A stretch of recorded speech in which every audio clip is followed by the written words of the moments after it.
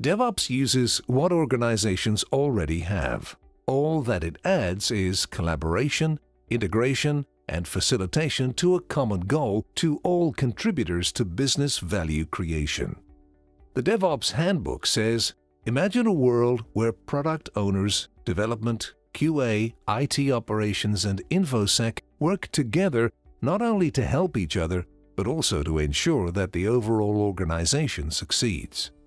By working towards a common goal, they enable the fast flow of planned work into production while achieving world-class stability, reliability, availability, and security. There are multiple stakeholders, development, InfoSec, IT operations, product, and QA.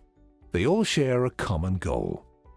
It's useful to note the concepts of fast flow and planned work, as these show how DevOps can increase both production and quality. Keep in mind that the DevOps Handbook is one source of information about DevOps, but is not the sole or official source.